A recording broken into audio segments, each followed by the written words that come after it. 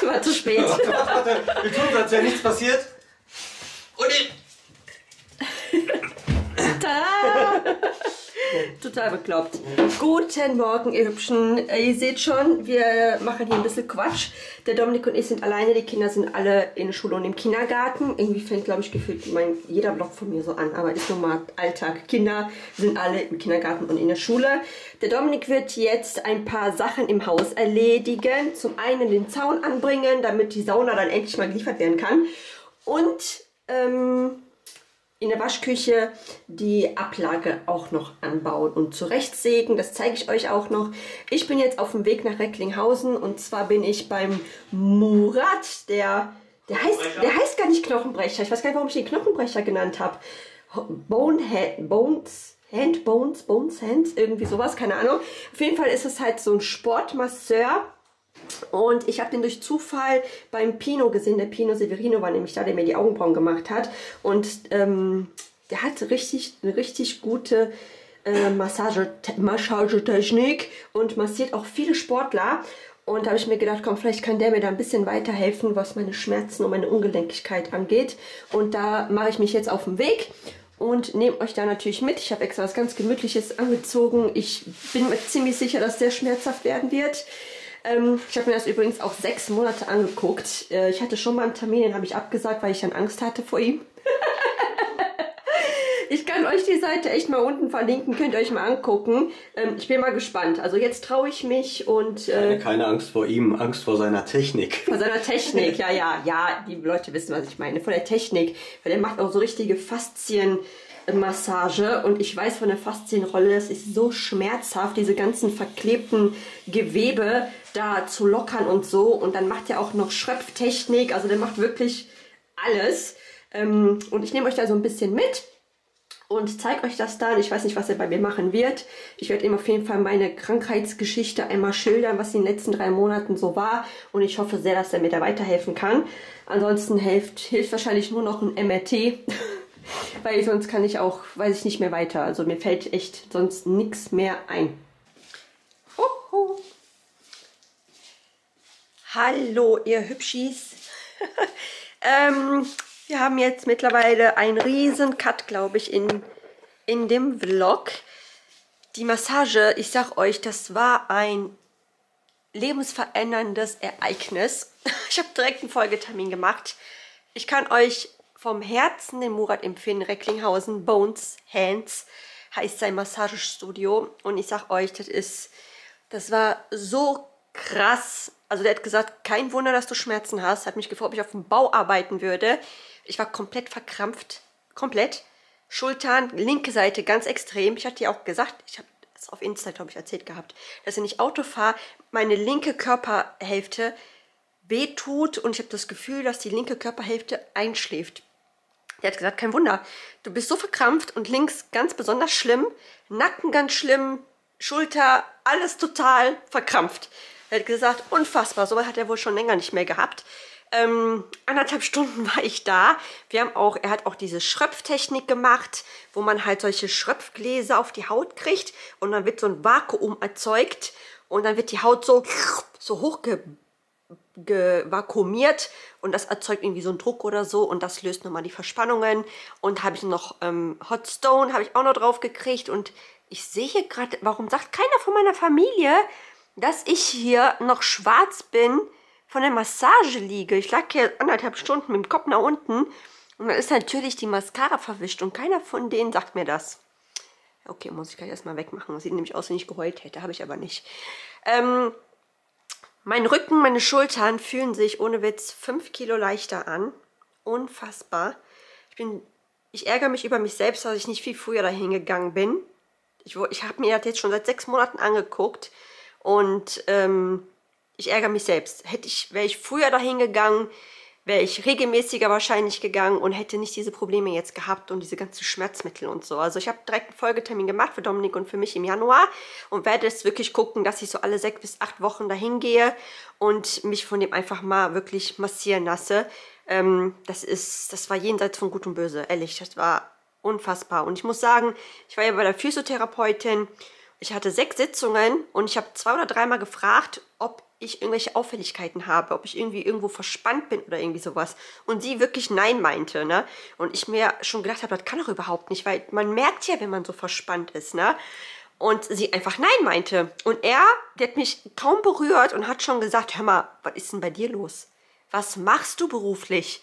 Dann habe ich ihm erzählt, dass ich halt Bloggerin bin und so. Und er hat gesagt, du, dein Rücken fühlt sich an, als wenn du auf dem Bau arbeiten würdest. Also echt richtig übel. Ich bin mal gespannt, wie die Nächte jetzt werden. Es fühlt sich alles viel geschmeidiger an, viel leichter und richtig angenehm. Er meinte, es kann sein, dass ich jetzt die nächsten Tage eventuell Muskelkater kriegen werde, weil er wirklich schon ne, anderthalb Stunden echt krass massiert hat. Und es hat aber auf jeden Fall super gut getan. Äh, jeder Cent wert gewesen. Es ist keine Kooperation oder sonstiges. Ich habe ganz normal da als Kunde einen Termin gemacht. Und wie gesagt, der Dominik und ich haben dann jetzt auch einen Termin nochmal im Januar. Dann kommt er nämlich auch. Und dann bekommt er nämlich auch. Ich glaube, der Dominik, der braucht auch auf jeden Fall auch eine Massage mit seinem ganzen Krafttraining und so weiter. Ist das vielleicht gar nicht mal so verkehrt, sich das auch mal zu gönnen.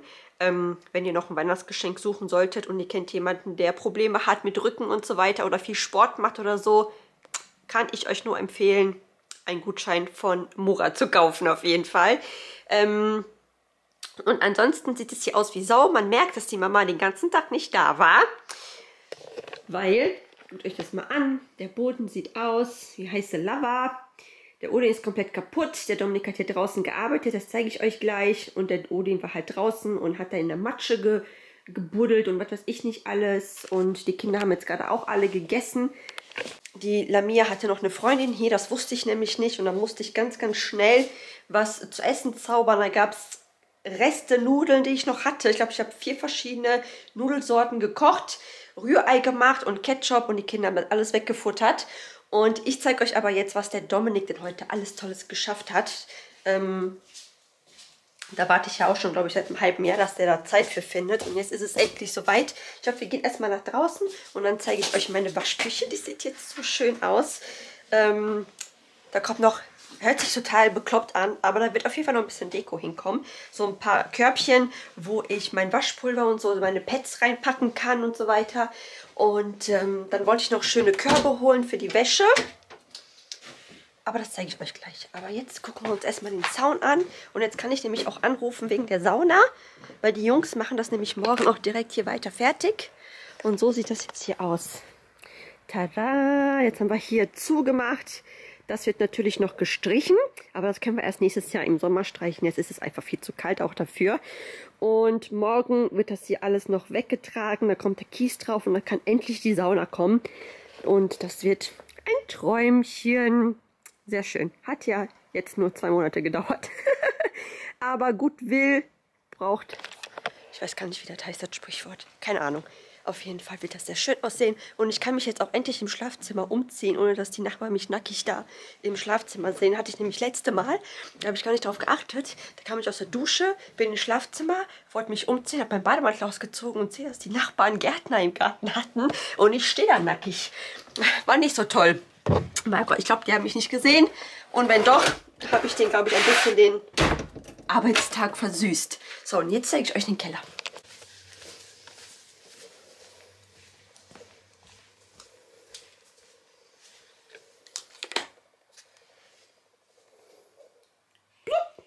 Tada! Natürlich alles voll Wäsche, wie immer. Aber schaut mal, wie schön das jetzt verputzt und gestrichen ist. Das kann man nicht ändern. Also man könnte es noch verkleiden, aber lasst es einfach mal so, wie es jetzt ist. Es ist nun mal so, aber es sieht viel, viel besser aus als vorher. Die Waschmaschine steht jetzt da, wie man sehen kann. Ich habe die doch, wir haben die doch in der, auf dem auf der Erhöhung gelassen, weil die sonst das Wasser nicht ziehen kann. Deswegen bleibt das jetzt hier so. Das ist auch ganz praktisch, weil so kann ich auch einfacher die Wäsche in die Waschmaschine packen. Da ist der Trockner. Hier ist diese wunderschöne Arbeitsplatte. Und da unten hole ich mir ein paar schöne Körbe für die Wäsche. Und hier oben kann ich natürlich alles schön sortieren und so weiter. Habe Ablagefläche und es sieht einfach viel, viel schöner aus. Und ich habe auch viel mehr Platz als vorher. Daumen nach oben. Oh, und wenn wir schon mal dabei sind, kann ich direkt Wäsche machen. Jetzt kann ich sogar hier filmen. Es ist, ist mir nicht mehr peinlich, weil hier nicht alles so abgeschimmelt ist. Und es ist so schön hell. Es ist ein richtiger cooler Raum, um zu filmen. Mega nice. So, was wolltest du, Joanna? Ja, mach ich. Die Joanna will Schlittschuh laufen. Die muss ich gleich noch in die Eishalle bringen. Und dann muss ich ihr ein Online-Ticket noch holen. Aber nur für dich, ne? Ja. Nicht wieder für Hund und Kunst. Ah, richtig geil. Für mich richtige... Ich fühle mich wie, äh, Dings. Wie heißt das? Anna. Anna von YouTube, die auch immer filmt, wenn sie einen Haushalt macht. Mir waren bestimmte Sachen tatsächlich immer etwas unangenehm hier zu zeigen. Aber ich verbringe 80% meiner Zeit echt nur in diesem Raum, ne? Wo Zeit, dass der mal schön gemacht wurde. So viel sollte die Mama doch wert sein, ey. Dass die hier die Schmutzwäsche wenigstens in einem schönen Räumchen waschen kann. So.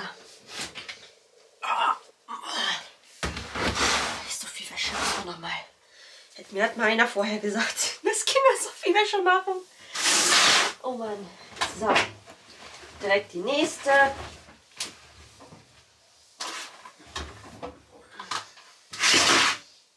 So. Zack. Dann hier an. Kann ich aus der Waschmaschine wieder Wäsche rausholen. Das ist echt jeden Tag, jeden Tag dasselbe. Ich weiß gar nicht, wie das überhaupt geht. Und ich achte schon darauf mittlerweile und kontrolliere alles, was die mir so dahinstellen zum Waschen. Und trotzdem ist es so viel. I don't know why. Und ich mache noch nicht mal Sport im Moment. Unnormal. Na egal. Wir machen es einfach weiter. Ne? Wie sagt meine Mutter immer so nett. Wolltest so viele Kinder, also guck, dass du klarkommst. So, ab dafür. Zack, aber wenigstens macht es mir jetzt ein bisschen mehr Spaß in einem sauberen Raum. So, zack.